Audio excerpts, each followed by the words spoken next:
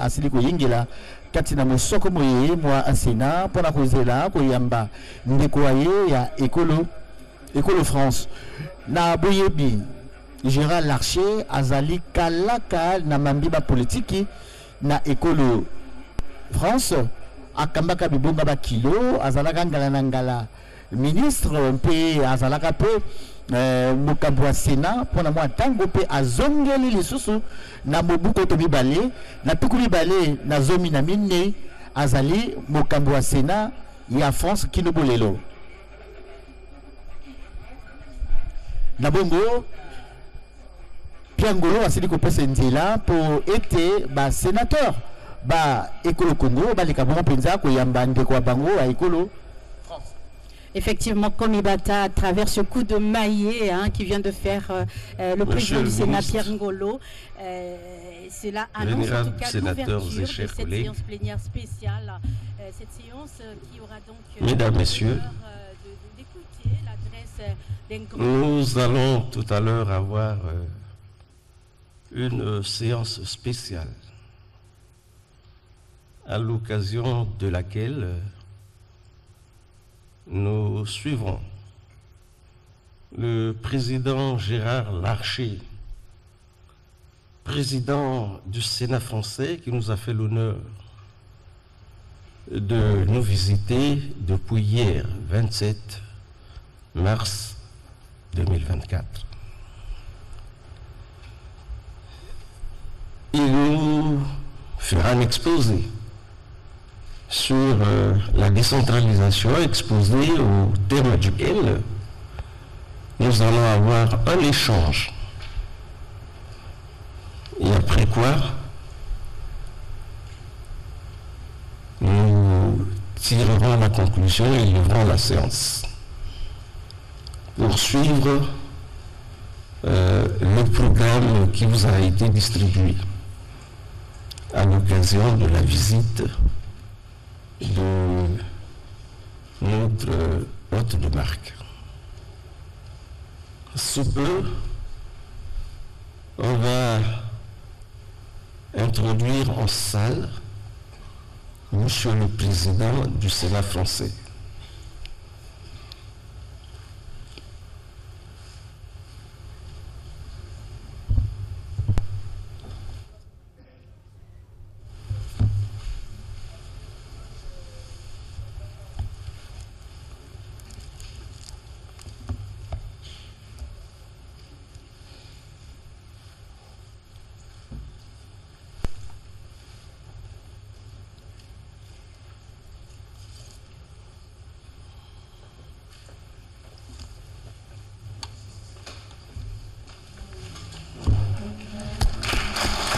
L'entrée en salle, l'entrée euh, dans cet hémicycle du Sénat du président du Sénat français euh, Gérard Larcher euh, sous les applaudissements de l'ensemble de l'assistance car c'est un grand moment, c'est un honneur pour les sénateurs congolais d'accueillir ce grand homme politique français qui est donc Gérard Larcher, prêt à s'exprimer, prêt à leur délivrer un message sur euh, l'expérience euh, du Sénat français dans le cadre de la mise en œuvre des politiques de décentralisation.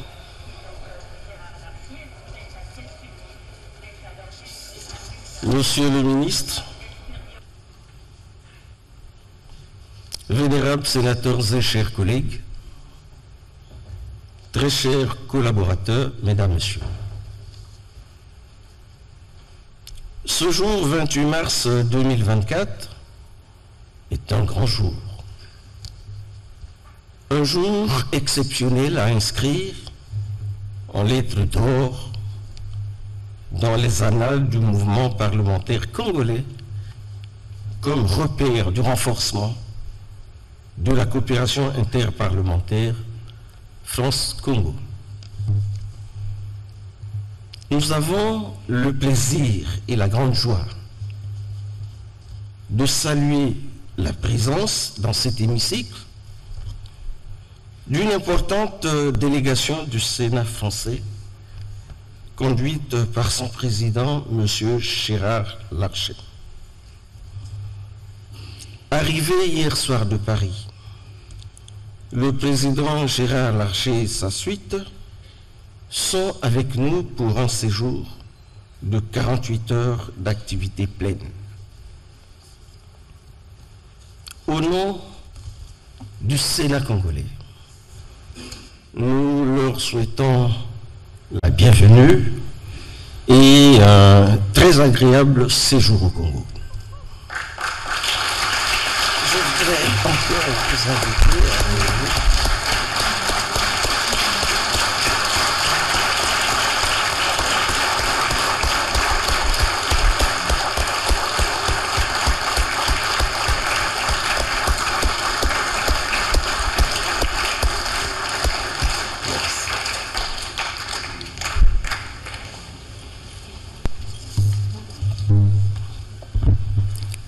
L'accord de coopération. Signé le 13 décembre 2023 au Palais du Luxembourg à Paris dispose en son article 2, je cite, Le présent protocole vise à développer les relations bilatérales par des échanges d'expériences et d'informations sur des questions d'intérêt commun concernant notamment l'organisation des territoires et les sujets ayant trait aux réformes sur le transfert de compétences, la décentralisation, la lutte contre le dérèglement climatique et la production d'énergie propre, ainsi qu'en matière juridique, législative, de contrôle, d'administration ou de communication parlementaire, ou sur toute thématique relevant de leurs compétences mutuelles. Fin de citation. S'agissant de la décentralisation, nous avons voulu saisir le passage du président Larcher pour un échange sur sur l'expérience française en la matière.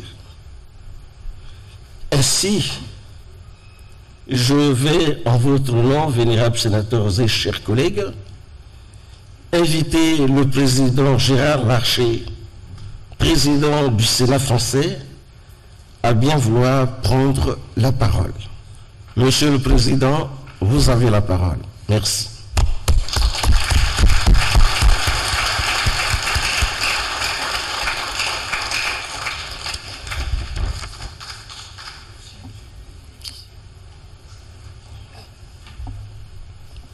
Vénérable président du Sénat de la République du Congo, vénérable sénatrices et sénateurs, très chers collègues parlementaires, monsieur le ministre, madame euh, l'ambassadrice de France, chers collègues élus du territoire, je sais que vous êtes ici euh, aussi présents euh, autour de cet hémicycle. Brazzaville. S'il est un nom qui résonne dans la mémoire de la France et de l'Afrique, c'est bien celui, mes chers collègues, de votre capitale.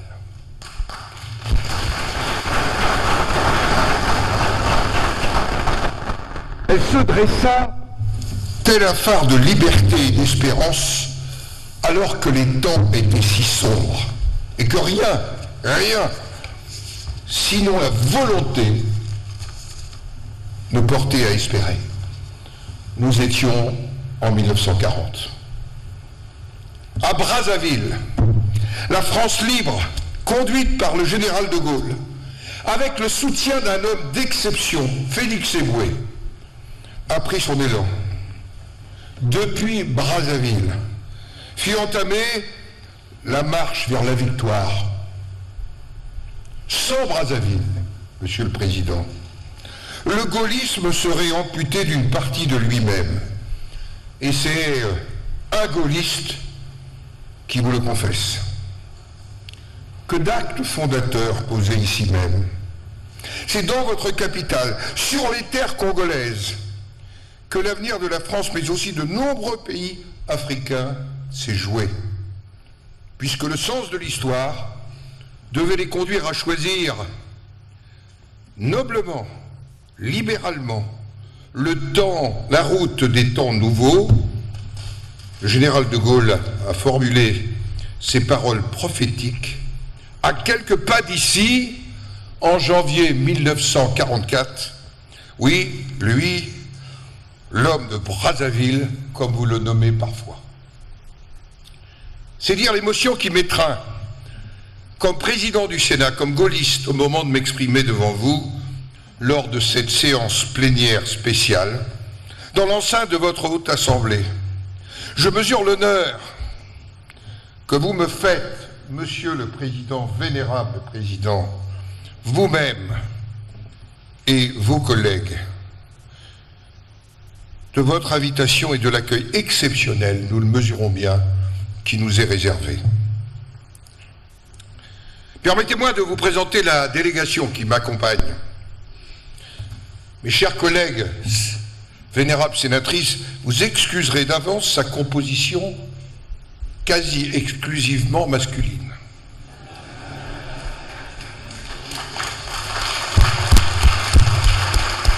Qui n'est pas à l'image de la représentation du Sénat français, car comme vous, nous avons dépassé largement les 30% de rééquilibrage.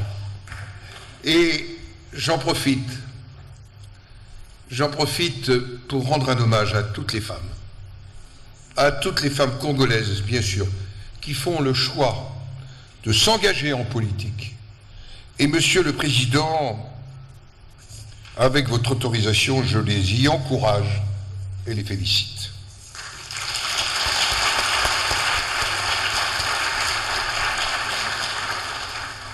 Ma délégation qui m'accompagne, bien sûr, euh, Madame l'ambassadrice de France ici, qui représente la République française euh, auprès euh, du Congo, dont j'ai pu mesurer depuis hier soir, mais même avant, l'engagement aux côtés du Congo, des Africaines et des Africains.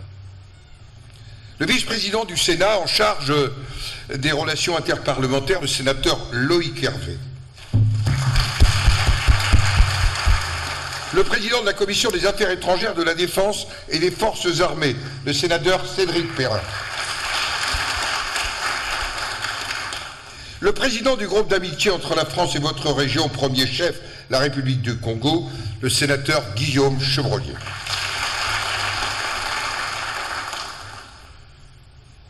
Vénérable Président, mes chers collègues, avant d'en venir au thème de cette séance plénière, au titre de l'article 2 de notre traité de coopération, je souhaiterais dire un mot de l'amitié entre nos deux pays. Rares sont les pays qui, comme la République du Congo et la France, ont partagé une histoire si dense, pétrie d'une même glaise, solidifiée par les épreuves surmontées côte à côte. Rien ni personne ne pourra nous ôter ce patrimoine commun que nous chérissons, notamment dans la francophonie. Quelle fierté d'en être aujourd'hui tous ensemble les dépositaires. Et le chemin parcouru est à la hauteur de notre histoire. Bien sûr, euh, il y a eu des moments où nos voix ont divergé. Mais à chaque fois, nous nous sommes retrouvés et reconnus. Et je voudrais, devant vous, mes chers collègues, sénateurs, rendre hommage à votre président, qui n'a pas hésité euh, à bousculer les choses en venant nous rencontrer, en venant nous rappeler à cette amitié à la fois séculaire et bâtie dans les temps les plus difficiles de l'histoire de notre pays, pour nous dire en quelque sorte, Monsieur le Président, venez à notre rencontre, venez partager. Et je voulais devant vous remercier votre Président d'avoir en quelque sorte sollicité ce moment.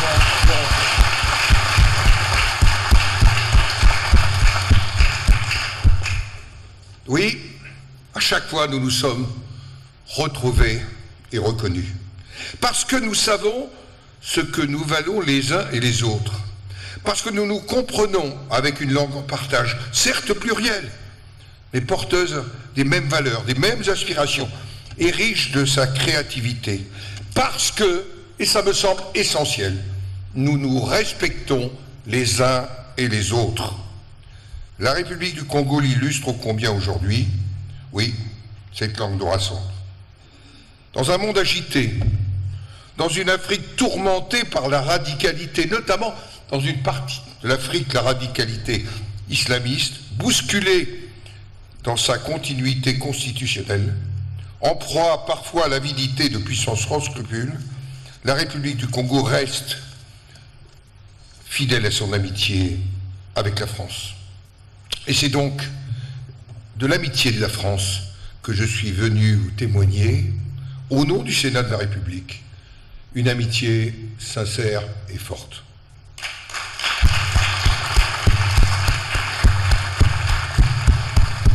La vraie amitié n'est point impérieuse. C'est une liaison libre dont le cœur et l'esprit, la raison et le temps ont ensemble formé les nœuds. Elle s'accomplit dans le respect mutuel. Nous savons que le respect de la souveraineté et de l'équité, la recherche de l'intérêt partagé, la promotion de nos atouts forment les conditions sincères de nos relations, loin des ambitions de puissance et de leurs appétits prédateurs, loin des États qui à dessein accusent les clivages entre pays du Nord et pays du Sud, plutôt que de valoriser les convergences. Une amitié authentique. Voilà ce que la France, au travers du Sénat de la République française, souhaite offrir à la République du Congo et ce à quoi elle aspire auprès de votre pays. C'est vrai, nos Sénats, vénérables présidents, nous donné l'exemple. Vous l'avez rappelé dans votre propos, ils ont signé en décembre dernier un accord de coopération qui est davantage, beaucoup plus qu'un accord administratif, qui est un manifeste de confiance et de solidarité. Nous avons porté cet accord sur les fonds baptismaux à Paris. Nous le ferons grandir ensemble ici à Brazzaville. Dans cet accord, nous avons tenu à inscrire le renforcement du bicamérisme. Est-il utile de le préciser devant nous? Deux chambres, ça n'est pas une chambre de trop. C'est la garantie d'une législation plus réfléchie, plus étudiée, d'un système parlementaire bien installé sur ces deux piliers. Nulle part mieux que dans le système bicaméral ne sont défendues les aspirations des collectivités territoriales. Et en ce sens, Monsieur le Président, répondant à votre invitation, la décentralisation est fille du bicamérisme. Pour cette raison, l'organisation territoriale et la décentralisation occupent une place à part dans l'accord de coopération que nous avons signé entre nos deux Sénats. Vous savez, en France, la décentralisation a longtemps effrayé. Toute l'histoire de France convergeait vers un seul objectif, le renforcement de l'État central. Comment, dans ces conditions, concilier une république une et indivisible avec la décentralisation? Première question. Comment conjuguer le caractère à la fois unitaire, indivisible et centralisé de l'État, pour reprendre l'article premier de votre Constitution? Voilà les questions. À l'heure où la République du Congo réfléchit à la façon d'approfondir son processus de décentralisation, à lui donner un nouvel élan, permettez-moi d'apporter un éclairage en forme de plaidoyer, nourri de l'expérience, d'hésitation parfois, de conviction souvent. En tant que sénateur, vous représentez comme nous les collectivités territoriales de la République. Et vous comprendrez, je n'en doute pas, mon attachement à la décentralisation. Attention, prudence, mettez en garde ceux qui lui étaient hostiles. Il craignait que l'État central ne s'affaiblisse et que la division ne l'emporte sur l'unité. Leurs prédictions ne se sont pas vérifiées. La décentralisation a été maîtrisée en France parce que l'État l'a accompagnée et parfois canalisée à travers notamment la déconcentration. Déconcentration des services de l'État et décentralisation doivent cheminer de pair. Un singulier, pas de deux, pour reprendre une thématique de danse, s'est noué entre le préfet, représentants de l'État au niveau local et les entités décentralisées dont les prérogatives s'accroissaient et qui se voyaient progressivement dotées, c'est un point important, de ressources propres et donc prévisibles. Question cruciale et qui demeure s'il en est. L'octroi de ressources propres fut l'élément déclencheur, celui qui, en plus de l'élection, permit aux collectivités locales de gérer en responsabilité leur budget, de décider leurs actions et d'acquérir ainsi une existence à part entière. Le tout sous la surveillance, dans un premier temps, du préfet, pour éviter qu'elles n'outrepassent leurs droits ou pour permettre à l'État d'intervenir en cas d'urgence ou de nécessité absolue. Aux yeux de ceux qui émettaient des doutes sur son opportunité, la décentralisation a produit des effets inattendus. Ce n'est pas la moindre de ces paradoxes que d'avoir renforcé la plupart du temps la cohésion nationale.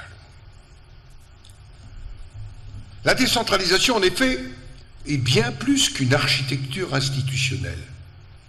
Elle suppose une participation accrue des citoyens à la vie locale, en vertu de l'adage selon lequel bien des décisions et des actions peuvent être entreprises localement avec plus d'efficacité et de rapidité pour mieux satisfaire aux besoins immédiats. C'est ce qu'on appelle la subsidiarité. On le sait, la proximité, sujet essentiel, sujet sur lequel nous sommes encore interrogés dans notre pays aujourd'hui et où nous avons des débats favorise une gestion plus harmonieuse de la diversité des territoires et de leurs attentes. Et toute femme, tout homme politique peut en témoigner, les besoins satisfaits sont source de concorde publique et derrière de suffrage. La décentralisation a également permis de juguler des revendications régionalistes qui existent encore, par la reconnaissance de spécificités et par la libre administration pour les seules affaires locales. Elles offrent la flexibilité nécessaire pour que des traits particuliers puissent trouver leur place dans un ensemble national plus vaste, avec un fil conducteur, je le rappelle, l'unité de la République. Et si elle préserve l'unité, la décentralisation n'est pas l'uniformité. L'uniformité, n'est pas la même chose de gérer en Île-de-France que de gérer dans les Pyrénées-Orientales ou même, euh, j'allais dire, euh, dans le nord euh, de la France. Il y a unité, mais il y a aussi diversité. C'est aujourd'hui encore un véritable sujet de débat en France, tout comme le besoin d'un nouveau souffle de décentralisation. Nous sommes au cœur d'un débat en cours dans notre pays. Mais il existe une borne qui, à mes yeux, est infranchissable. Et je le dis ici devant une assemblée parlementaire. Le pouvoir législatif ne se partage pas. La loi de la République doit s'appliquer partout et dans les mêmes conditions. Ce sont des débats qui sont loin d'être éteints en France. La décentralisation est aussi source d'un développement plus équitable, alors que les déséquilibres, notamment entre pôle urbain et campagne, entre provinces riches ou moins dotées nourrissent parfois des revendications antagonistes. Elle entraîne dans son sillage une coopération décuplée avec des entités locales de pays amis. Autant de transferts de moyens qui servent la cause du développement et l'amélioration des conditions de vie de tous les habitants. Ne pensons cependant pas que la décentralisation serait une formule magique à même d'aplanir toutes les difficultés. Aucun modèle n'est transposable en tant que tel. Et nous avons aussi un débat en cours en France sur la différenciation. Faut-il des réponses différenciées naturellement sous le contrôle de la loi? La réponse est sans doute oui. C'est des débats que nous avons aujourd'hui. Mais c'est un constat. Partout, les collectivités locales disposent de prérogatives propres. Ben, paradoxalement, ne croyez pas que l'autorité de l'État s'affaiblisse. La stabilité des institutions se renforce, le développement se fait plus inclusif et la démocratie s'enracine. Au VIe siècle avant Jésus-Christ, le sage Chelon, auquel on demandait quel était le meilleur système politique, il avait répondu pour quel pays? Point d'interrogation. Pour quel peuple? Pour quelle époque? Point d'interrogation. La démocratie est plurielle. Aucun peuple n'en détient la clé. Chacun suit son propre chemin. Mais bien des chemins peuvent se rencontrer en démocratie. Et la décentralisation est l'un de ces chemins. Je renouvelle donc, en m'adressant à cette vénérable Assemblée, la proposition que j'ai formulée auprès de votre président. Le Sénat de la République française est vraiment prêt à partager avec vous tous, si cela peut éclairer et servir, dans le respect de nos différences, son expérience de la décentralisation, ses succès, comme ses défis, et parfois ses échecs, à vous accompagner dans votre effort de redynamisation des politiques décentralisées.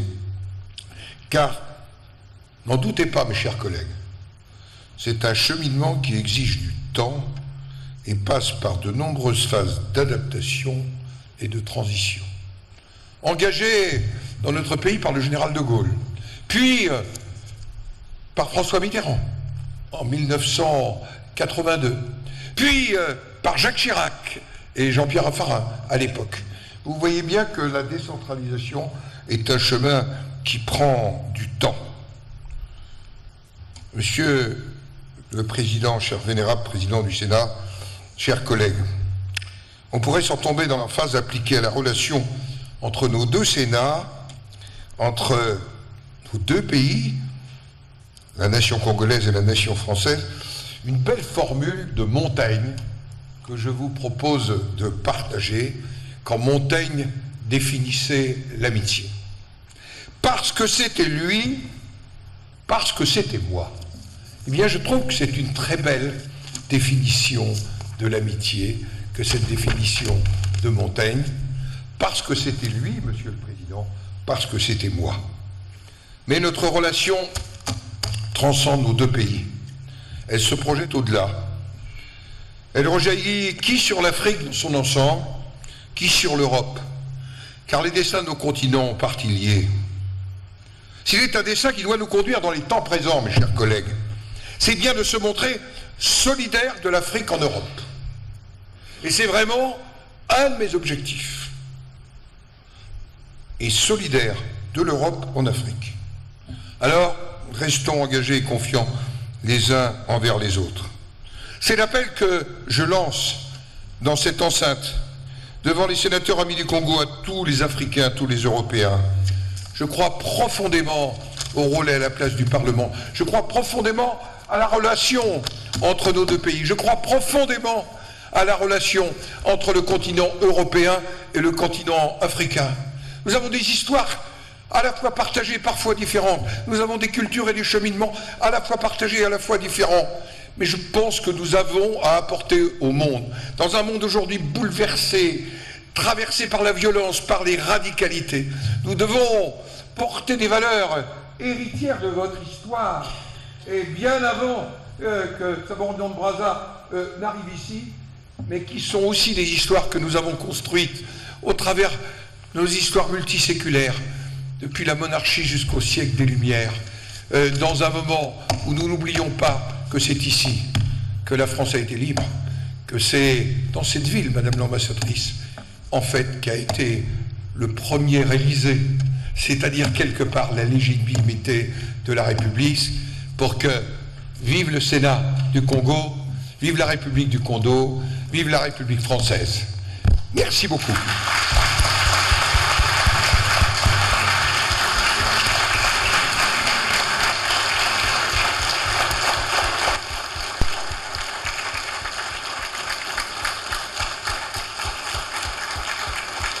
Gérard Larcher qui vient donc de délivrer son message, son magnifique message, très applaudi par l'ensemble des sénateurs congolais, tellement le message est profond et fort à travers donc ces mots euh, euh, très profonds de ce grand homme politique. Nous avons compris en tout cas l'engagement de la France, l'engagement Merci, Monsieur euh, le Président. de- des autorités françaises à avancer vers la voie de la démocratie à travers la mise en place solide Vous avez suivi la communication du président du Sénat français, Monsieur Gérard Larcher. À présent, la parole vous revient pour ceux qui ont des questions. Et je vais devoir euh, demander au vénérable premier secrétaire d'ouvrir la liste de ceux qui se souhaitent intervenir. Honorable sénateur, euh, la liste est ouverte. À gauche.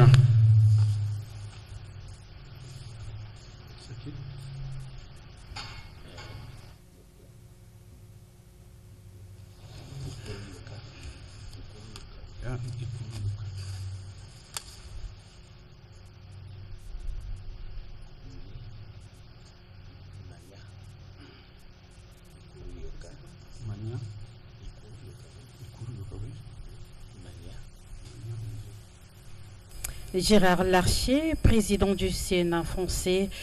L'occasion est donc donnée aux sénateurs congolais de poser euh, des questions, tout au moins pour ceux qui en ont, bien sûr. La liste est donc euh, ouverte par euh, le premier secrétaire du Sénat.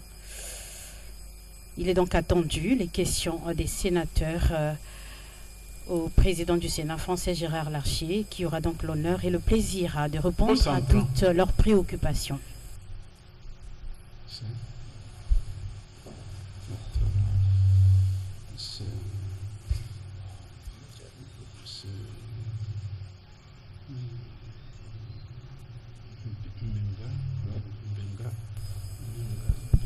Ya solo alliance etoka beka nsima ya kolandela bokebe bonso bokonzi ya sénat ya ekolo france. Uh, ngala ekomi mpona basénateur baekolo congo baleka bango mpenza kopesa mituna na gérard larcher na makambo matali bokaboli bokonzi kati na bituka. Ezali eleko e, ya motuya mingi mpona basénateur baekolo congo baleka bango mpenza kokabola boyebi to bomekoli etamboli ya eh, mambi ba décentralisation te bokaboli bokonzi kati na bituka na basénateur ba eh, ekolo france. Na maloba ma gérard larcher alobi ete bondeko mpe bosalisani kati na ekolo congo na mambe ma bokaboli bokonzi kati na bituka esengeli bozala ya kolendisama makasi. Au centre na bongo esengeli na basénateur bakongo bapesa mituna na gérard larcher mpo baleka bongo mpenza kozweli yango na basengi babango pamba te etamboli ya oui, oui, oui. Nous avons le, la vénérable Ikuru Yoka, Mania, Sonim Benga, Kaya Magana, Inkari Epuma. Il y en a qui a été oublié là Le vénérable Nguye. Guy-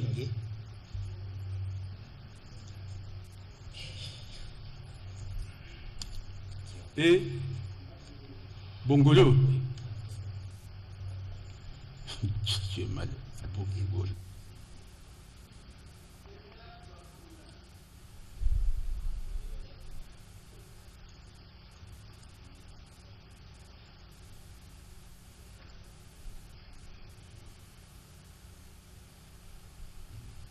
Pour une véritable clarté, nous avons Ikuru Yoka, nous avons Vénérable Mania, nous avons Vénérable Bongolo, nous avons le Vénérable Sonim Benga, nous avons le Vénérable Kaya Magan, nous avons le Vénérable Inkari, nous avons le Vénérable Epuma, nous avons le Vénérable Nguye et nous avons le, véné- le Vénérable Bakumina. La Vénérable.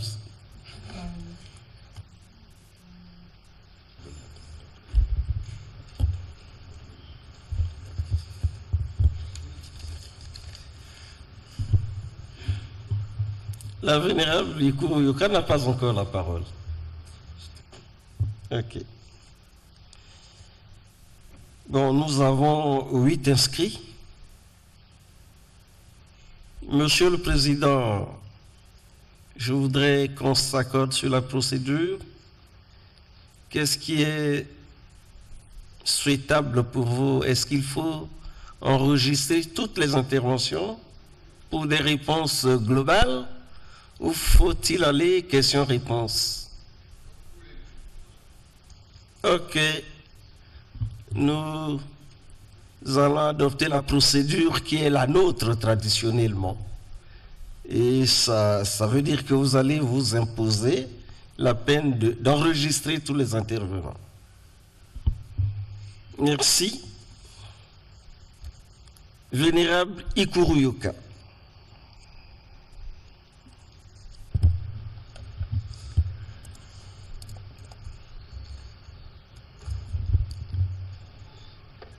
Merci, Vénérable Président, de m'avoir accordé la parole.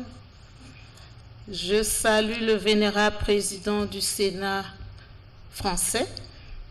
Avant toute chose, je tiens d'abord à vous féliciter pour les riches informations que vous avez mises à notre disposition. Je suis euh, Madame Pauline Yoka, sénatrice, présidente du conseil départemental des plateaux. Mes préoccupations pour lesquelles j'aimerais obtenir des éclaircissements de votre part sont liées à ma qualité de présidente du conseil. J'ai deux préoccupations. La première, elle concerne le lien entre le Sénat et les collectivités locales en France. Vénérable Président, vous venez de nous dire la décentralisation n'est pas une conformité. En effet, j'aimerais que vous puissiez nous parler du rôle spécifique du Sénat français dans sa relation avec les collectivités locales et comment cette interaction contribue-t-elle à la gouvernance et à la prise de décision au niveau local. Ma deuxième préoccupation concerne la fonction publique territoriale en France, la nôtre étant encore dans sa phase d'éclosion. J'aimerais que vous puissiez nous éclairer sur le rôle et l'étendue du pouvoir des présidents des conseils en France sur l'organisation et le fonctionnement de la fonction publique territoriale et comment les autorités locales interagissent-elles avec l'État central dans ce domaine. Vénérable Président, Telle était l'économie de ma préoccupation. Je vous remercie. Merci, Vénérable Mania. Merci, Vénérable Président. Euh, j'ai une question à poser à Monsieur euh, le Président du Sénat de la République française. Mais avant, je voudrais quand même euh, dire en réciprocité que Monsieur le Président du Sénat et tous les sénateurs français présents dans la salle et puis ceux qui sont à Paris, que ici, de vous voir par votre ascendance politique, vous avez des personnes qui ont le cœur en fête. Parce que vous avez porté Brazzaville au firmament, et cela pour l'éternité. Vous avez fait de Brazzaville la capitale de la France et pas n'importe quelle France. La France de la liberté. Brazzaville, capitale de la France libre. Et cette liberté instaure entre nous une sorte de fraternité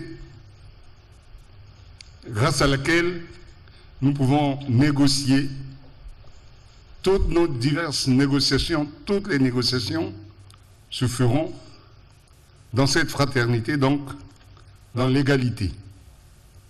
Voyez-vous Vous avez donc des hommes ici avec le cœur en fête. Alors ma question portait sur euh, l'incidence qu'a eu la décentralisation en France sur l'érection, l'existence, la gratuité des autoroutes de Bretagne.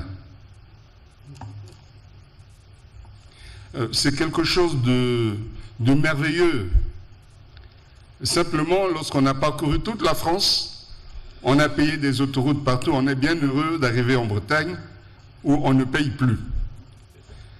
Cette situation va-t-elle perdurer? Va-t-elle se développer dans les autres régions françaises Ou bien c'est la Bretagne qui va commencer à faire payer l'utilisation de ces autoroutes? Alors, ça peut peut-être nous donner beaucoup d'inspiration ici pour notre pays. Merci, Vénérable Président. Merci. Vénérable Bongolo. Bongolo. Euh, merci, Vénérable Président, pour la parole accordée. Je voudrais d'entrée de jeu remercier et féliciter le président du Sénat français pour la clarté de son exposé, mais aussi et surtout pour l'éloquence avec euh, laquelle cet exposé a été rendu. Après donc euh, avoir, écouté, avoir écouté religieusement cet exposé, et ne doutons pas, bien sûr, que les graines ainsi plantées donneront leur, euh, donneront leur germination, une germination, Ma question est la suivante.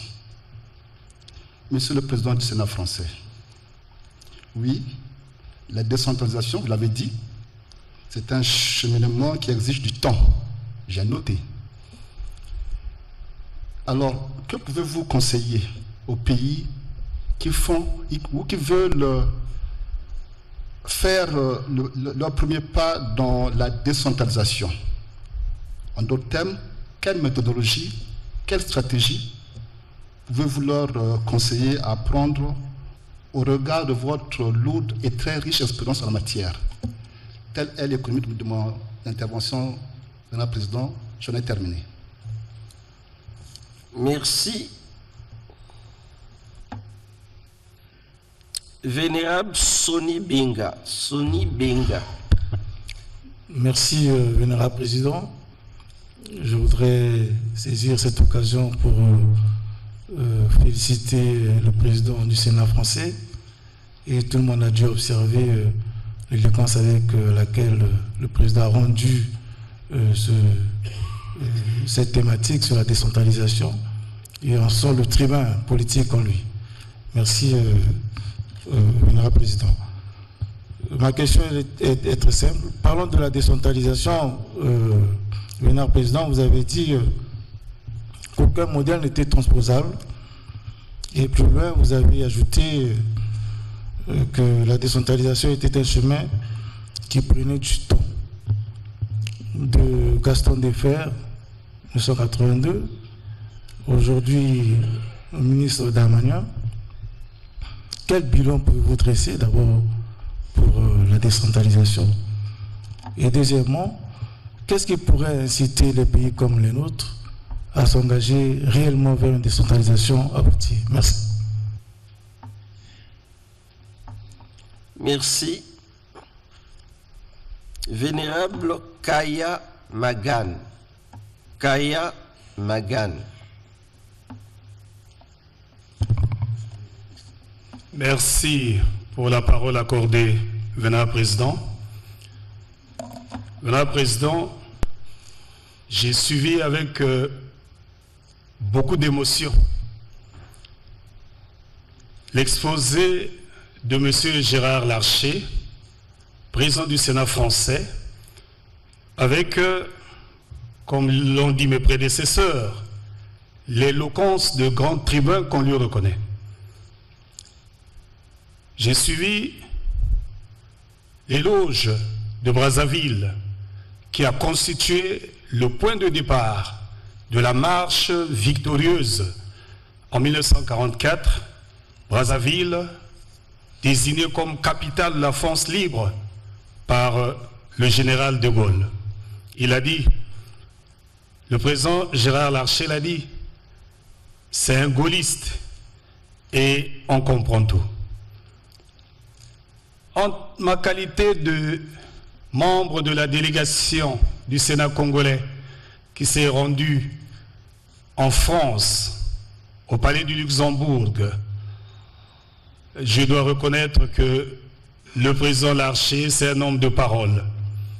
Il avait promis venir à Brazzaville. Aujourd'hui, c'est chose faite, c'est un homme d'honneur.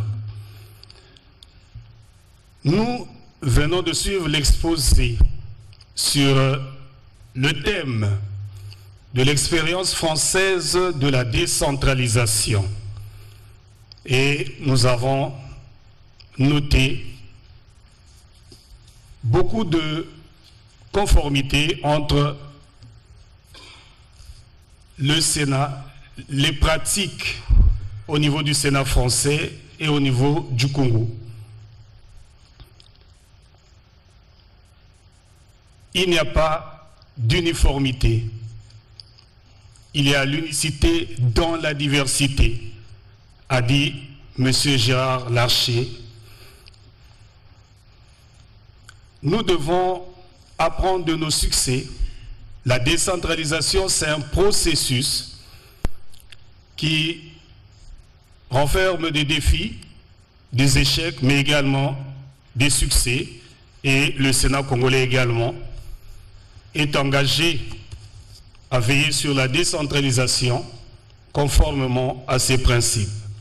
Cependant, et pour chuter, j'ai quelques préoccupations à présenter au président Gérard Larcher, président du Sénat français, notamment sur le financement des collectivités locales en France, sur les modalités, les modalités de représentation du Sénat de France des collectivités locales. Et enfin sur le statut des élus locaux, sachant que le principe est la gratuité du mandat, mais tenant compte de la perte de vocation en France, quel est le statut des élus locaux? J'ai dit merci, venant Président. Merci. Vénérable Inkari. Vénérable Inkari. Merci, Vénérable Président, pour l'accord de, de parole. En tout cas, j'ai été dévancé par le euh, Magan. Oui. Vénérable Kaya Magan. Kaya Magan, oui. Que j'ai été dévancé par lui parce que la dernière question qu'il venait de poser, c'est celle que je portais justement. Donc, euh, sur le statut justement des élus locaux. Donc là, je n'ai Merci. Vénérable Epouma. Vénérable Epouma. Merci, vénérable président du Sénat. Oui, ce serait manquant de voir que ne pas féliciter cet orateur brillant et un ancien sénateur, parce que avant de venir ici, on a essayé de le googliser pour voir euh,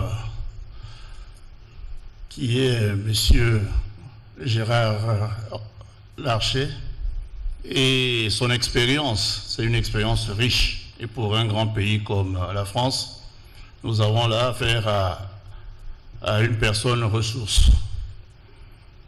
Et concernant la décentralisation, nous avons deux principes fondamentaux qui sous-tendent l'autonomie et la libre administration. Et j'aimerais bien demander à Monsieur le Président quelle est l'expérience un peu de la France au début surtout concernant ces départements qui ont des moyens assez limités et concernant donc euh, l'autonomie et qui serait limitée aussi et la libre administration? C'est un peu le cas au niveau du Congo et la difficulté qu'il y a aussi, je pense que cette difficulté que la France a eu à, à connaître d'un État jacobin pour aller vers cet État décentralisé, c'est effectivement en 1982, en février, je pense qu'on avait voté, on a promulgué en mars 82, je pense. Et nous avons les mêmes, les mêmes problèmes parce que le transfert de compétences et le transfert des moyens n'est pas toujours aisé de la part euh, surtout du pouvoir euh, exécutif qui avait ses prérogatives et qui voit ses prérogatives euh, s'effriter vers les collectivités locales. Donc on aimerait vous entendre, Monsieur le Président, à ce sujet. Vénérable Président, je vous remercie. Merci, Vénérable Nguyen.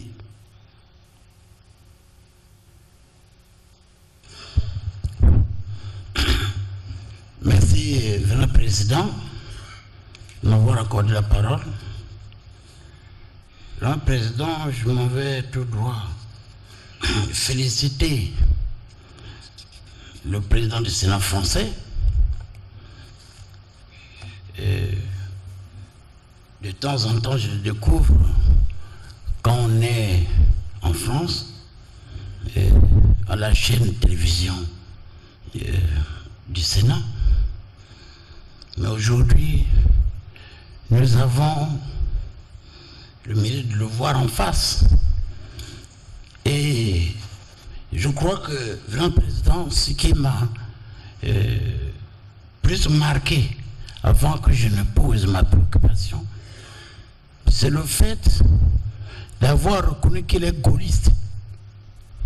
Et qu'aujourd'hui, quand même, euh, on reconnaît le statut. Parce que même certains jeunes ne savent pas que euh, notre pays était la capitale de la France libre. Et ça, euh, il a dit, euh, dit de lui, et je crois que ça nous conforte.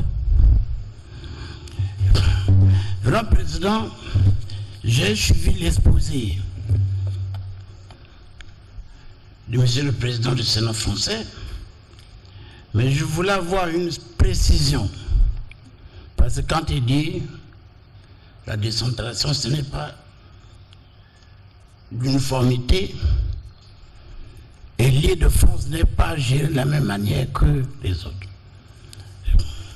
Euh, Je voulais que Monsieur le Président euh, aille un peu plus loin. Parce que euh, ça m'a fait comme une confusion. Euh, donc, ils n'ont pas les mêmes lois ou comment euh, est-ce qu'ils sont autonomes vis-à-vis euh, et, et l'île de France n'est pas gérée de la même manière que les autres. Je voulais que Monsieur le Président un peu plus loin. Parce que euh, ça m'a fait comme une confusion. Euh, donc, ils n'ont pas les mêmes lois ou comment euh, est-ce qu'ils sont autonomes vis-à-vis de, la position centrale? Donc, c'est un peu ça. Je voulais que le président reprécise un peu euh, cette approche-là. Le président, je crois que le reste, les autres ont dit, euh, j'en ai terminé. Merci. Merci. Vénérable Bapoumina.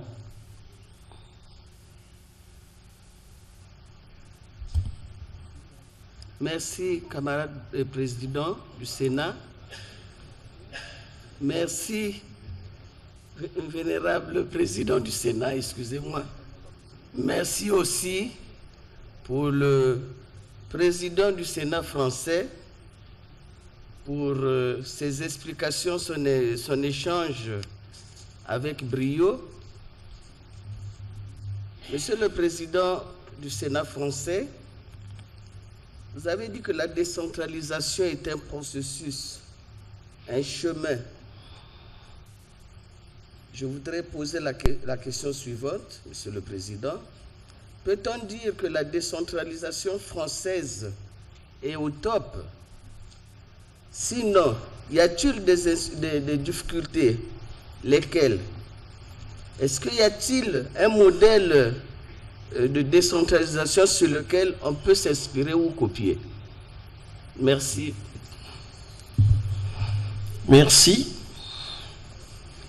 Nous venons d'épouser la liste des neuf sénateurs euh, inscrits. Et je ne pense pas qu'il y ait une vocation tardive. Monsieur le Président du Sénat, je crois que vous avez été bien servi et vous n'êtes pas mécontent. Et nous vous invitons à vouloir euh, passer à la tribune pour les réponses.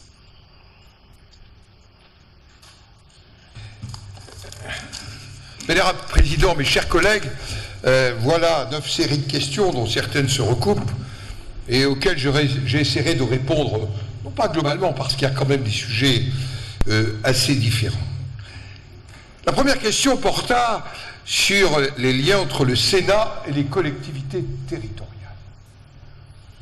Notre légitimité, nous la puisons par les collectivités territoriales. Et dans une démocratie parlementaire, la légitimité, ça a du sens. Nous avons en effet une structure un peu différente entre la République du Congo et la République française, c'est que nous avons 35 000 communes.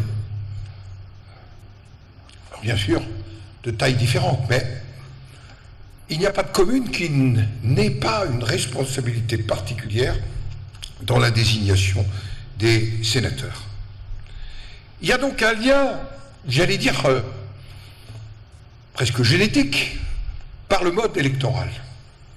La seconde des choses, c'est que, aujourd'hui encore, malgré un texte qui se révèle funeste sur la fin du cumul des mandats, parce que vous avez dit, chers collègues, que vous étiez présidente du conseil départemental des plateaux, si ma mémoire est exacte, eh bien, aujourd'hui encore, les sénateurs sont quasiment tous issus d'une expérience de maire, de président de conseil départemental ou de président de conseil régional.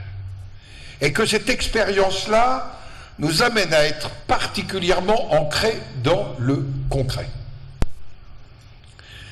Au rôle spécifique du Sénat, depuis une réforme constitutionnelle voulue par Jacques Chirac et un de mes prédécesseurs, le président Poncelet, tous les textes qui concernent les collectivités territoriales sont constitutionnellement confiés en première lecture au Sénat.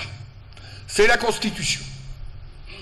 D'ailleurs, il y a un gouvernement, sous le quinquennat précédent, qui l'a oublié, et le Conseil constitutionnel l'a retoqué, en disant que le texte n'était pas constitutionnel.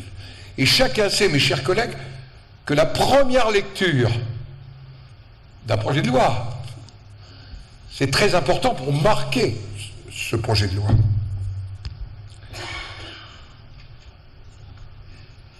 Fonction publique territoriale. C'est un débat très actuel en France. Nous avons une fonction publique territoriale.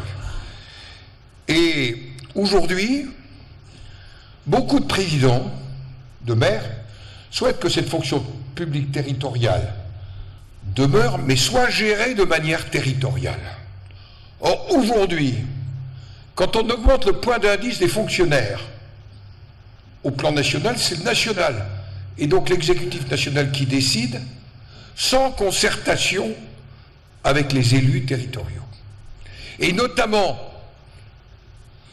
un certain nombre d'évolutions de carrière ne sont pas réellement encore décidées, même s'il existe les centres interdépartementaux, départementaux de gestion de la fonction publique territoriale, qui sont formés d'élus des élus.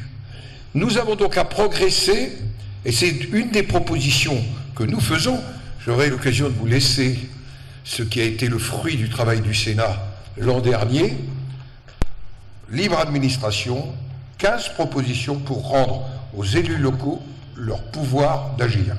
Vous y trouverez que cet élément-là est, important. Alors, un de nos collègues a dit J'ai le cœur en fête. Euh, je suis heureux pour lui qu'il ait le cœur en fête, moi aussi. Moi aussi, parce que, au-delà des symboles, et vraiment, je vous le dis avec sincérité, ce que représente Brazzaville euh, dans notre histoire. Cette année, nous allons aussi euh, faire mémoire de deux anniversaires très importants pour notre liberté, pour les valeurs qui sont les nôtres. 80e anniversaire du débarquement en Normandie et 80e anniversaire du débarquement de Provence. Sans oublier le nombre, j'allais dire, d'amis africains qui sont venus euh, nous aider, nous aider pendant toute la guerre. N'oublions pas de cette légitimité. Et le débarquement de Provence, c'est tout un symbole ici au Congo. C'est un 15 août le jour date de votre indépendance, une journée totalement essentielle. Et j'ai le souvenir d'être venu en 2010 ici. J'étais déjà président du Sénat, vous voyez, on s'habitue à rester président du Sénat, monsieur le Président. Moi, j'en suis à mon troisième président de la République, vous voyez, mais je représentais le président Sarkozy. J'ai un souvenir très fort. Un 15 août, anniversaire en même temps du débarquement de Provence. Et je crois que c'est au nom des valeurs. Alors vous m'avez posé une question terrible. Les autoroutes bretonnes. On distingue en France plusieurs types d'autoroutes. Les autoroutes concédées. Les autoroutes bretonnes, et vous ne le répéterez pas dans le journal officiel, les autoroutes Chirac. Eh oui, il y a deux catégories d'autoroutes qui n'ont jamais fait l'objet de concessions. La Bretagne, c'est une décision du général de Gaulle. En effet, la Bretagne était une partie de notre pays formée, c'est un vieux débat, de quatre ou de cinq départements, on dira qu'il y en a quatre pour éviter tous les ennuis, mais qui avait beaucoup de retard à l'époque. Et le général de Gaulle a considéré que le désenclavement de la Bretagne était une priorité pour donner sa chance au moment de la mutation agricole à la Bretagne. C'est donc une décision qui a été une décision de l'exécutif. Ça n'est pas une décision de la décentralisation. Les autoroutes Chirac, c'est autre chose. En effet, le président Chirac a considéré qu'un territoire, il était à la fois maire de Paris et député de la Corrèze, qu'il y avait une partie de la France qui était enclavée. Il y a dans un pays des territoires qui euh, ne sont pas sur des grandes voies ferrées, euh, qui ne sont pas au, croisement de ports, qui sont dans des territoires plus difficiles. Il a considéré qu'une partie de la France, et notamment celle qui va jusqu'au viaduc de Milo, eh bien, devait être soutenue c'est une décision qu'il a prise d'ailleurs conjointement dans le cadre de la décentralisation avec le soutien des territoires, des régions et des départements concernés. Et euh, il y a quelqu'un qui a joué un rôle que vous avez peut-être connu euh, comme ministre de la coopération il y a longtemps, qui s'appelait Jacques Godefrin, euh, et, qui a joué un rôle important dans cette approche. Mais aujourd'hui, l'état financier de nos collectivités est l'état financier du pays ne permet plus d'aller euh, vers euh, ce type d'aménagement, sauf cas exceptionnel, ce qui peut se faire dans quelques parties des territoires en fonction des décisions qui sont prises.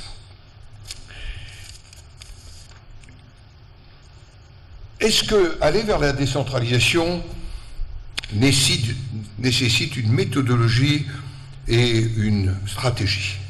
Et quels seraient mes conseils en la matière? Je vais vous raconter mon histoire. J'ai 30 ans et je suis élu maire de Rambouillet. Gaston Defer et le président Mitterrand viennent de proposer les lois de décentralisation. Se mettent en œuvre. Et je suis le maire qui n'est pas voté pour François Mitterrand, pour que les choses soient claires, qui reçoit la loi de décentralisation. Et au fond, mon père était maire dans une autre commune rurale, lui avait connu la période anté-décentralisation, et moi je ne connais que la décentralisation. Et je la connais dans ses premiers jours. Pour la première fois, on ne soumet pas au préfet ou au sous-préfet les décisions qu'on va prendre, on n'attend pas l'imprimature, il y a certes un contrôle de l'État, mais a posteriori, c'est le conseil municipal qui prend les décisions. Si j'ai un conseil à donner, c'est de commencer par le chemin de la commune. En fait, nous avons été en trois temps. La commune, le département et la région. Mais c'est la commune qui est le cœur de la décentralisation. Alors votre organisation communale est complètement différente. Il faudra peut-être l'adapter à la réalité départementale. Et il y avait la question, mais quel bilan? Je vais prendre un exemple sur le bilan. L'état des collèges avant 1983 en France, quand ils étaient gérés par l'État central. Et l'état des collèges aujourd'hui qu'ils sont gérés par les départements. La différence est incommensurable. Eh, réponse sur le territoire, adaptation au territoire, parfois courage de fermer un certain nombre de collèges, parce que c'est nécessaire, parce qu'il y a moins de population, parce que la population s'est déplacée. Mais si je prends l'exemple, c'est d'abord au plus proche des citoyens qu'il faut commencer la décentralisation. Mais la décentralisation, c'est un acte de confiance.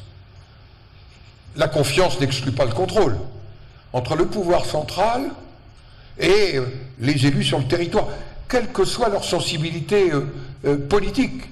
Quand je suis élu, je n'appartiens pas à la majorité nationale. J'appartiens à un mouvement qui s'appelle le Rassemblement pour la République, dont le président est Jacques Chirac. mais, j'allais dire, la relation de confiance, la loyauté, elle se fait dans un dialogue d'ailleurs entre le représentant de l'État sur le territoire, qui est le préfet, et le sous-préfet euh, sur le terrain. Et donc, je commencerai plutôt, si j'avais un conseil, par le plus proche du terrain. Ça prend du temps, en effet, à quelle vitesse et quelles compétences on transmet. En 1982, pour les communes, on nous a tout transmis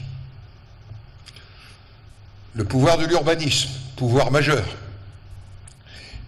Et d'ailleurs, on nous, on nous l'a plutôt repris un peu depuis. Mais c'est la commune ou l'intercommunalité qui décide de son plan local d'urbanisme, qu'on appelle le PLU, qu'on appelait avant le plan d'occupation des sols.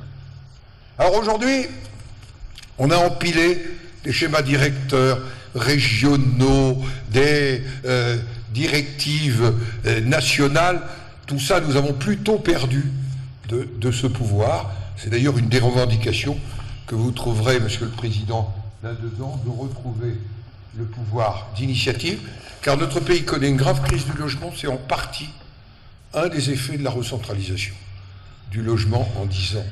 Et euh, je dois dire que ça nécessite que nous réexaminions cela.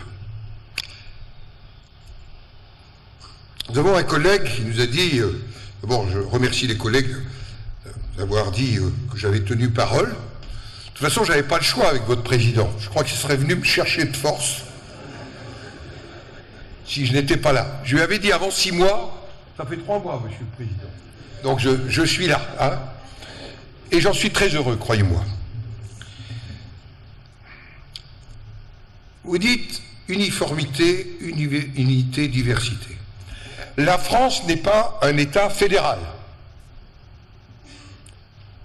C'est une différence avec l'Allemagne, par exemple. On ne peut pas comparer la décentralisation euh, française, ne peut pas comparer une région française avec un land allemand. On ne peut même pas comparer un, un département français avec un Kreis, un canton allemand. C'est autre chose. Nous gardons un pouvoir central essentiel sur les questions régaliennes. Et le Sénat de la République française n'est pas le Bundesrat allemand. Nous gérons l'ensemble des lois et pas uniquement les textes sur les collectivités euh, territoriales.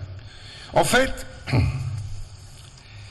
et ça rejoint une autre question sur l'uniformité, qui était euh, l'avant-dernière question, sur euh, comment faites-vous, donnez-nous un exemple de uniformité et diversité.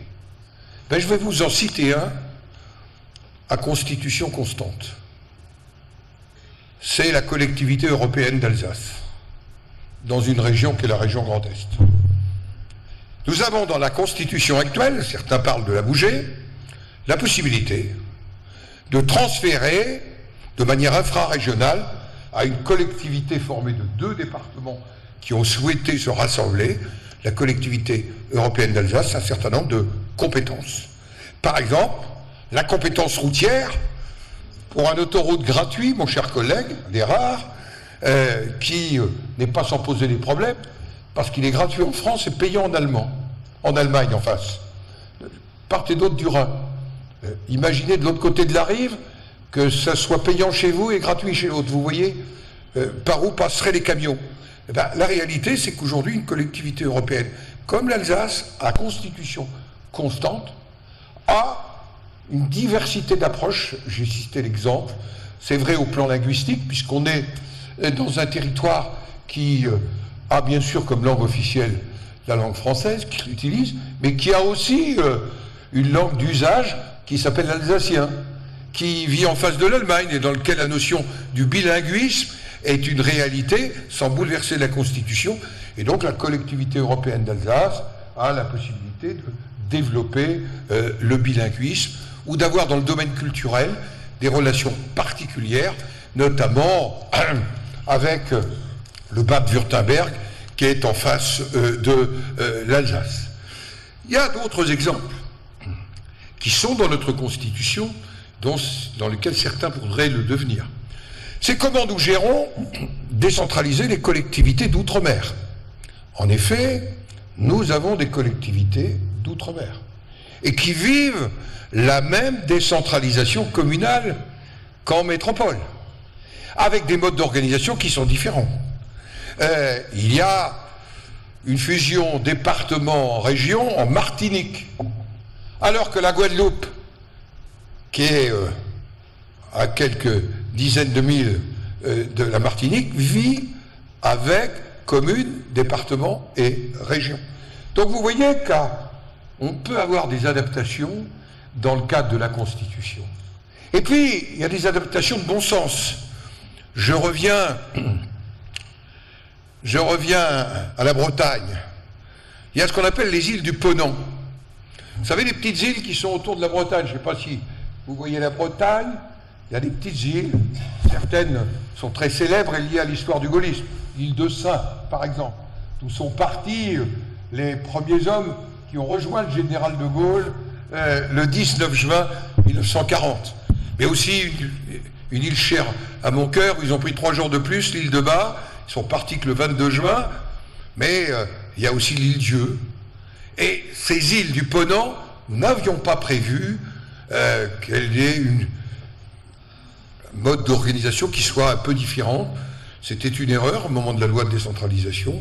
Euh, nous savons qu'il faudra répondre, car on ne peut pas imposer l'intercommunalité dans une île où il faut 50 minutes de bateau euh, pour arriver dans cette île. Donc vous voyez, il y a bien diversité. Alors il y a des débats actuellement en France.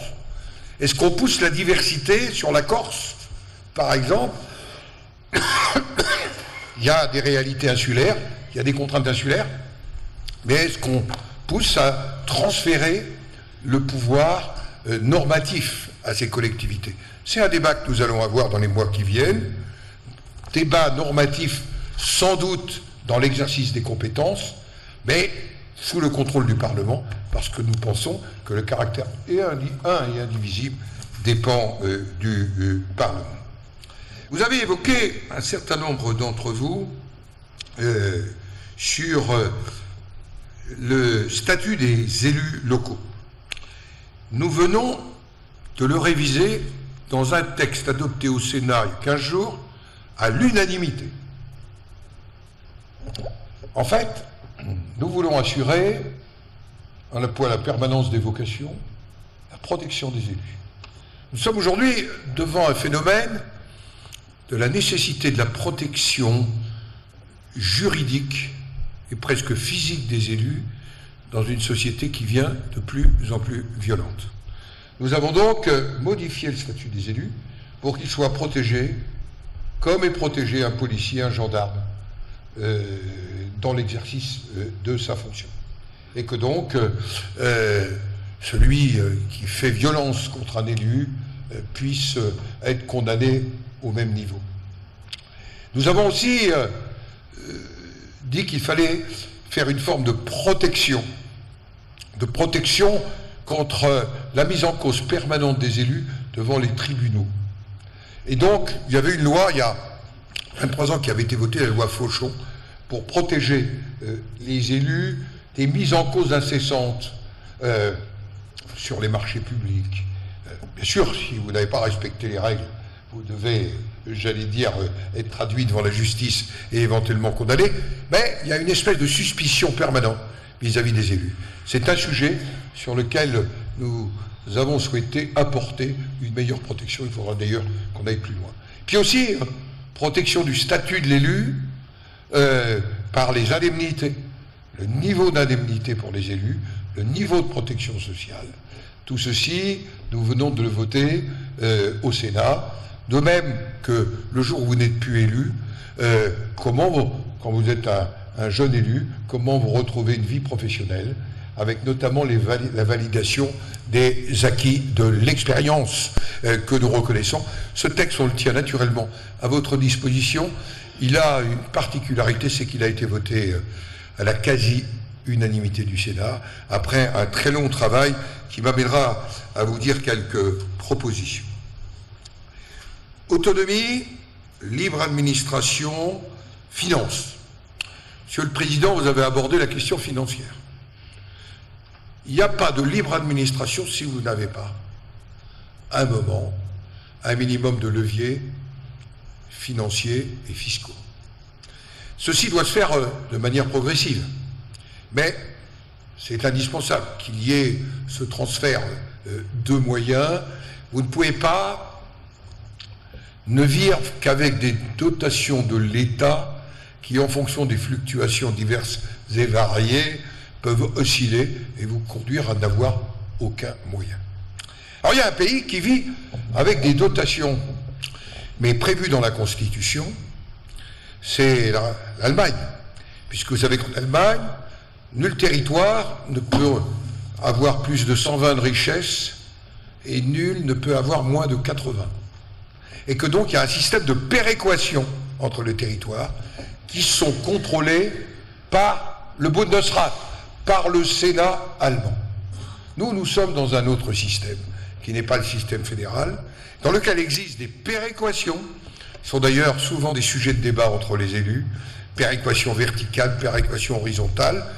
Par exemple, aujourd'hui en France, les départements, entre guillemets, qui ont le plus de moyens, transfèrent volontairement une partie de ces moyens aux départements qui en ont moins.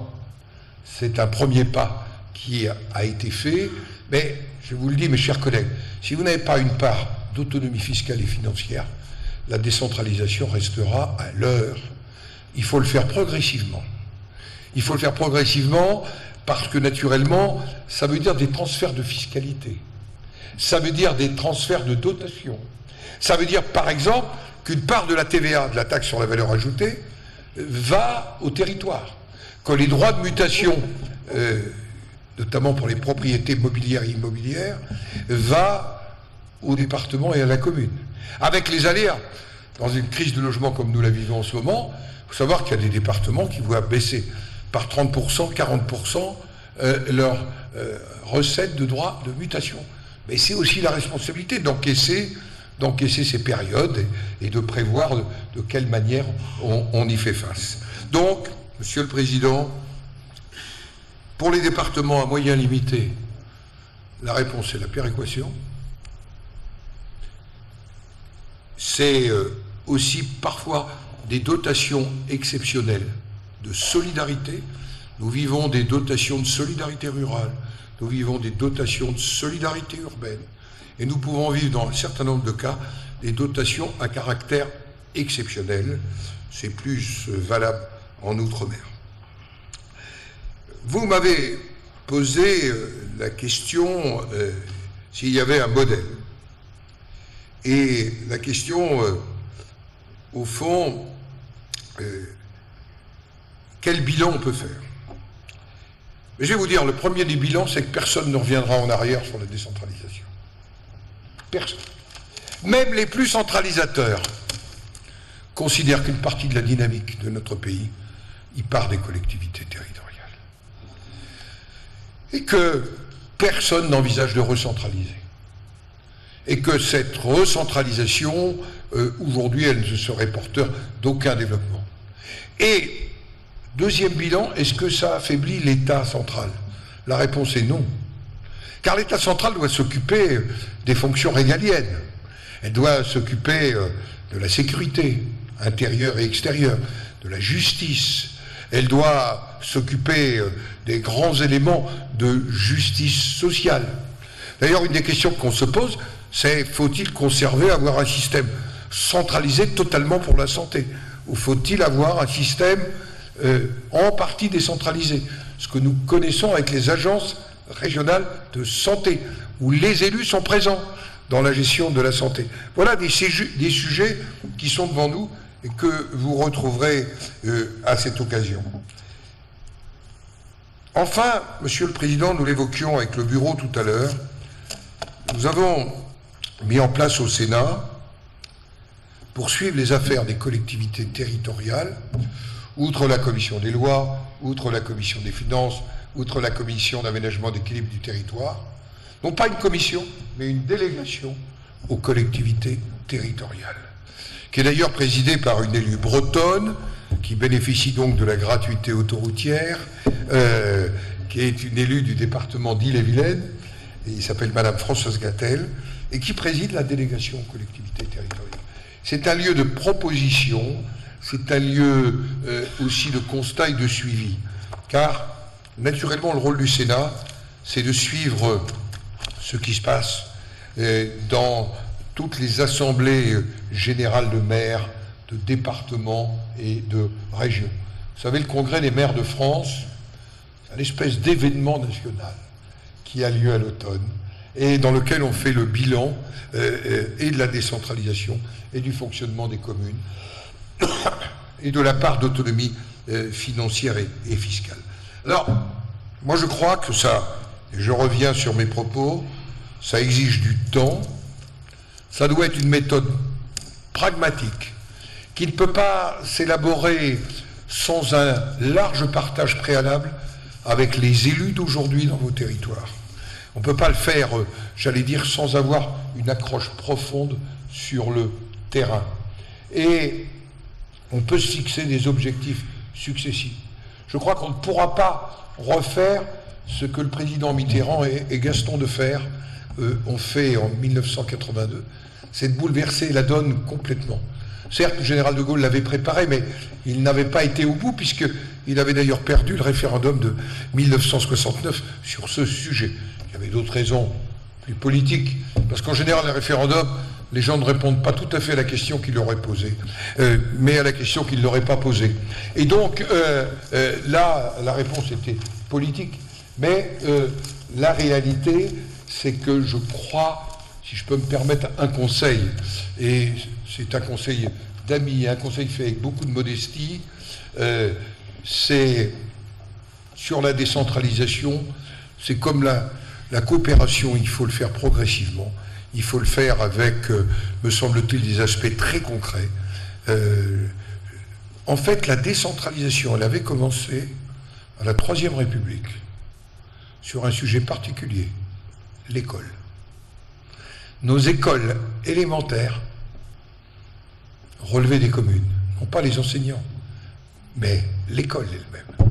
Ça a été la première des responsabilités qui ont été données euh, aux maires et aux conseils municipaux, et ça a aidé à construire l'unité de la République dans une responsabilité euh, partagée. Voilà, vénérable président, ce que je pouvais répondre. Euh, pardonnez-moi, c'est incomplet. Pardonnez-moi à ceux à qui je n'ai pas totalement répondu. Ce que je voudrais que vous sachiez, c'est que nous sommes, article 2 de notre coopération, totalement prêts à vous apporter le fruit de notre expérience, non pas pour être des donneurs de leçons. On n'a aucune leçon à donner, mais partager son expérience, c'est quelque chose d'utile. Et partager, je m'adresse aux maires et aux présidents de département qui sont ici présents aussi. Partager l'expérience comme nous le faisons avec les maires, les présidents de département, c'est quelque chose d'important pour voir les difficultés concrètes face auxquelles euh, j'allais dire, ils doivent faire face. Et comment ils y font face C'est issu, me semble-t-il, de beaucoup de pragmatisme qu'on pourra avancer. Merci de votre attention. Merci de votre accueil. Merci pour tout cela.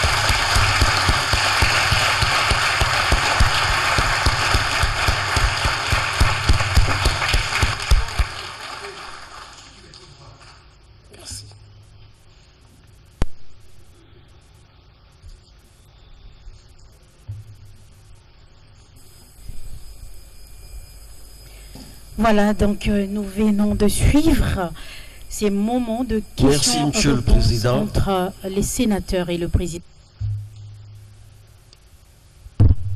Vénérables sénateurs et chers collègues,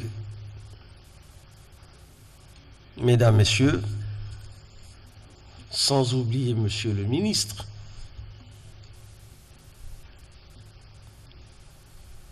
je crois que nous avons eu l'échange souhaité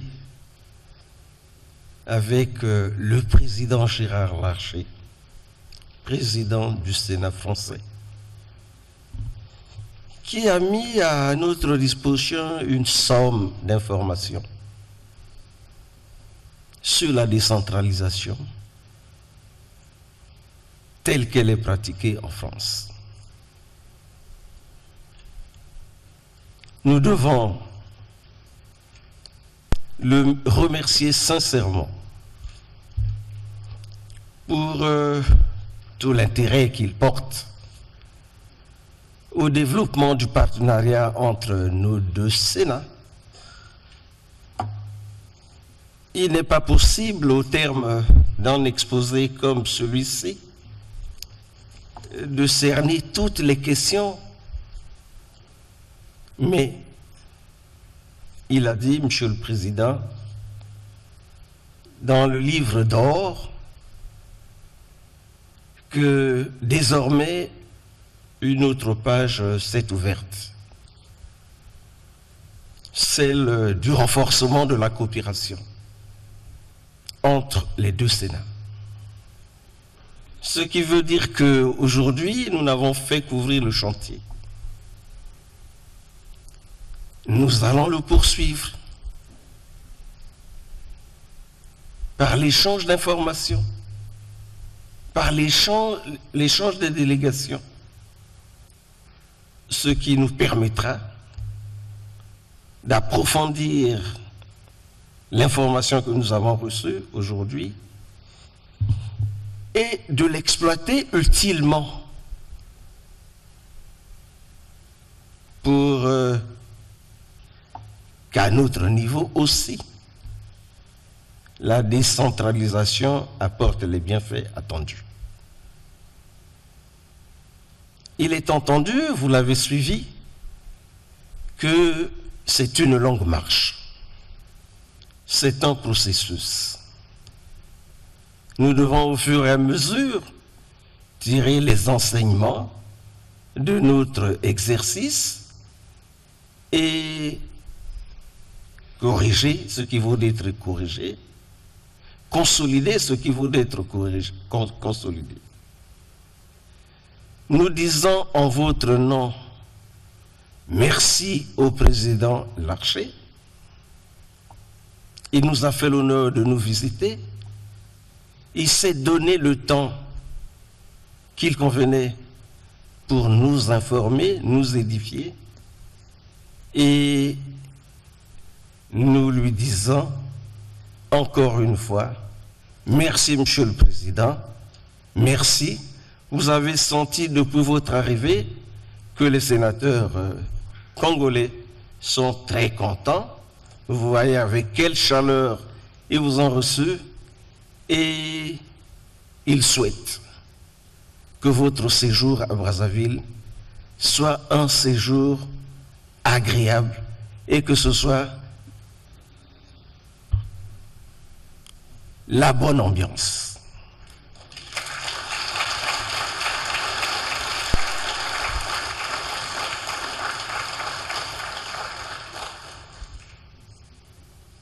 Nous venons ici de d'épouser notre débat et on va poursuivre le programme. Le programme de la journée est très chargé et il faut que nous le respections tel qu'il a été élaboré. Merci, Monsieur le Président. La séance est levée. président des Sénats de la République du Congo et de la République française, suivi de Monsieur le ministre, des membres du bureau du Sénat, des membres de la délégation française, des présidents des groupes parlementaires et des commissions permanentes du Sénat et du président du groupe d'amitié Congo-France pour la visite de l'exposition de l'Europe la d'entrée. décentralisation en République euh, du Congo, après avoir écouté euh, religieusement et avec beaucoup d'attention euh, le président euh, du Sénat français, Gérard Larcher, qui est venu avec un message, euh, message euh, basé sur euh, euh, le partage d'expériences, partage euh, de ce qui est la décentralisation dans son pays afin d'aider euh, les sénateurs euh, et le Congo à pouvoir euh, avancer dans cette initiative. Un véritable cours et des notions de décentralisation que nous avons suivi tout au long de ces exposés et au cours de ces séances de questions-réponses. On voit bien le président du, euh, du Sénat français, Gérard Larcher, qui euh, visite euh, l'exposition aménagée à cet effet, qui retrace certainement le parcours du Sénat congolais, mais surtout le, parcours diplomatique, les échanges diplomatiques qui se font régulièrement entre les responsables politiques français d'ailleurs avec euh, les responsables euh, du Sénat en tête desquels se trouve le président du Sénat, euh, euh, Piangolo, Victorien Mbongo. Nyachirika Dadio Sila na bizizi benikana kutala muchindu mfumo ya sena ya isi ya France kena kutala bizizi wapi bizizi kena kubangudila yandi Olivier Tati mosi ntwadisi na mambo ya kuhakisa nsangu awa na sena bizizi yai kena kutadisa bundiku ina kili kati ya sena ya isi ya Congo na sena ya isi ya France. Te kila kilokola yai ya kutadisa bafoto na Gérard Larcher kusalama. Beno mekatoka kulanda kilokola ya nene ina amekwiza kutwadisa mfumo ya sena ya Congo na wapi kilokola? Gérard Larcher mekwiza kutadisa luzabu. Ya baumi kukunyungu ya isi ya France na ina amekutadila jambu ya kukotisa bamigration ya luyalu na bizunga.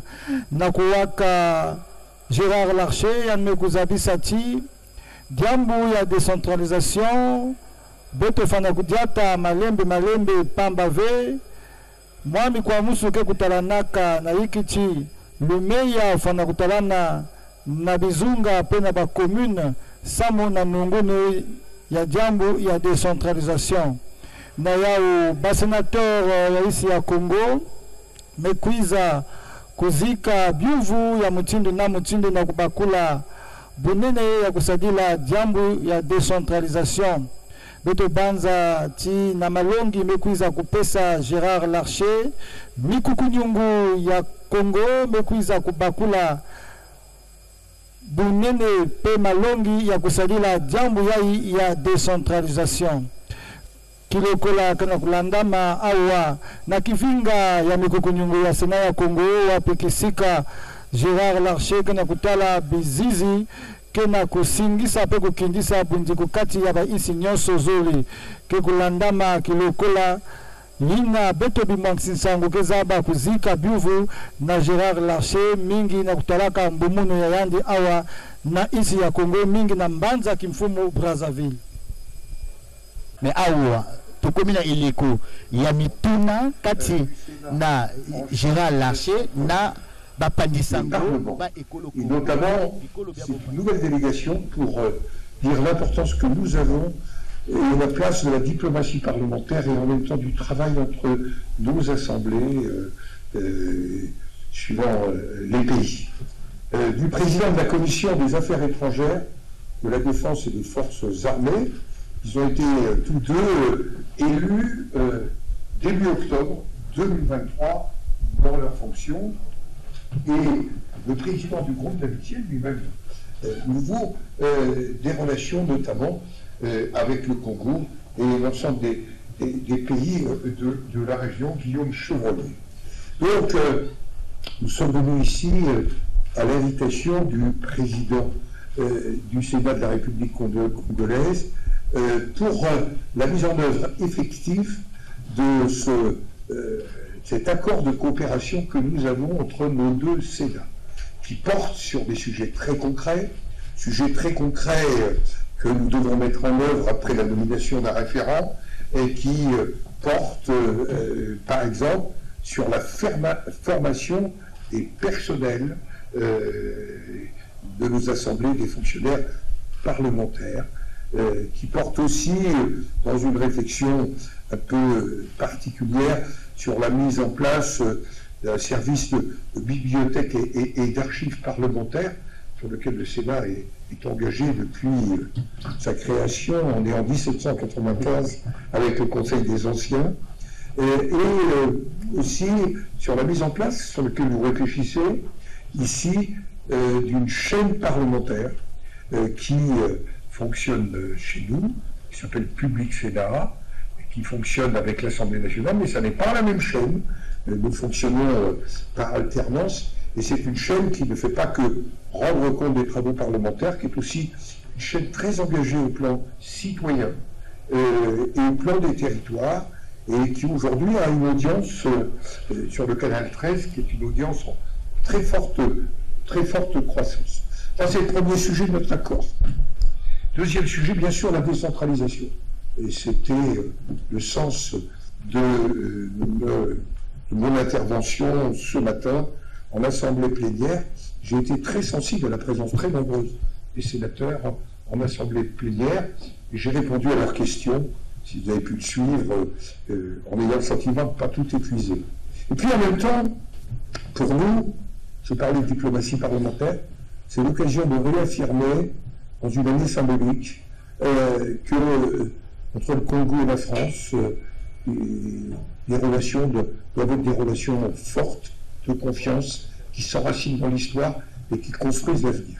Et c'est aussi la dimension de ce, voyage, à l'invitation du président euh, euh, du Sénat de la République du Congo, qui va m'amener à poursuivre aujourd'hui avec dans des actions de développement, dans des actions de coopération, à rencontrer aussi les forces vives de la communauté française ici euh, euh, en République du Congo, euh, à poursuivre demain dans une partie, j'allais dire mémorielle, parce que comme je l'ai dit, la partie mémorielle, elle, donne un sens à notre amitié. C'était il y a 80 ans un discours, j'allais dire fondateur, fondateur de ce qui s'est passé un peu plus tard, un 15 août 1960, c'est-à-dire l'indépendance euh, des pays, voulue par le général de Gaulle. Et puis, euh, demain après-midi, le président de la République euh, nous fait l'honneur de nous recevoir pour un échange en profondeur sur les situations de nos relations, situation politique dans une Afrique tourmentée.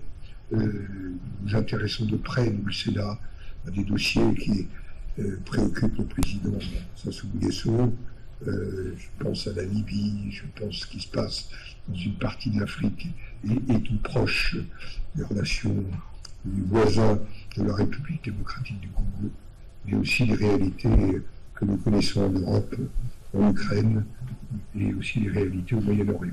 Voilà le sens de cette visite, où nous avons dit que nous ne viendrions que dans un seul pays. Euh, nous ne venons qu'en République du Congo. Ça ne veut pas dire qu'on ne fait pas un jour d'autres pays, mais nous nous consacrons à cette relation. nous avons le sentiment qu'il faut la conforter aujourd'hui.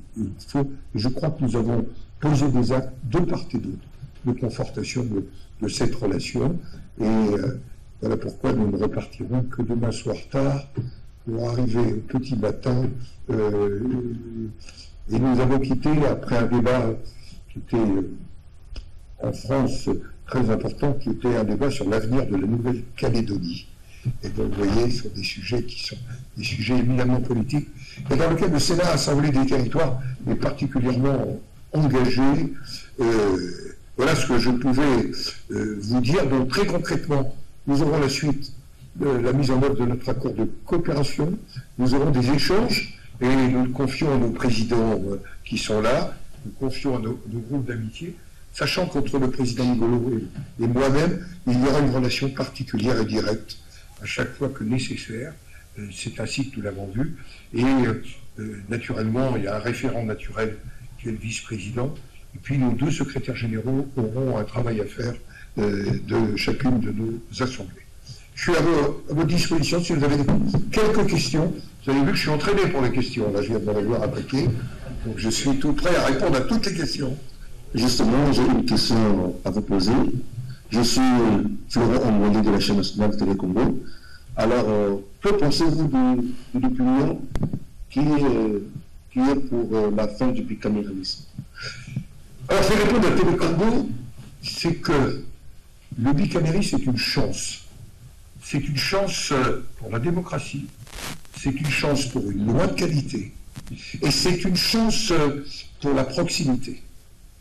Je pense euh, plus que jamais, face aux doutes des citoyens, que nous avons besoin euh, d'offrir une démocratie parlementaire qui soit approfondie, qui soit à l'écoute. Et euh, j'entends parfois des propositions un peu simplistes, que ça coûterait cher d'avoir deux assemblées. moi, je vais vous dire, ça ne coûte pas cher pour la démocratie. Ça ne coûte pas cher, au contraire, ça enrichit la démocratie.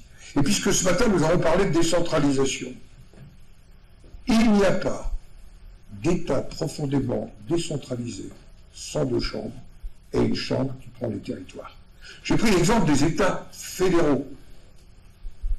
L'Allemagne, je pourrais vous citer l'Autriche, mais aussi un pays où on a envisagé de supprimer le Sénat, l'Italie qui aujourd'hui est très heureux, dans un équilibre politique, d'avoir un Sénat à côté d'une Assemblée nationale. Mais aussi euh, un pays organisé en communauté, l'Espagne, euh, dans lequel aujourd'hui le Sénat espagnol est un élément d'équilibre dans des tensions euh, communautaires particulièrement fortes. Je pense que le Sénat est un garant de l'unité dans la diversité.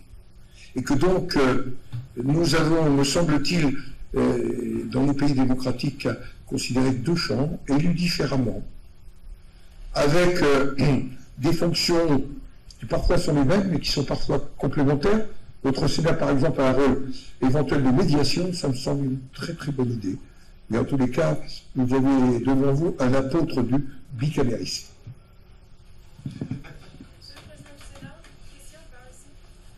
Avec le micro, parce que, que je vous entends. Je suis Christine Machona, journaliste euh, à DRTV. Tout à l'heure dans la salle, vous avez parlé de la libre administration en parlant de la décentralisation. Dites-nous comment vous faites pour obtenir cette libre administration. Et vous avez parlé euh, lorsque vous avez parlé de la décentralisation, vous avez également parlé d'un problème de proximité que vous avez.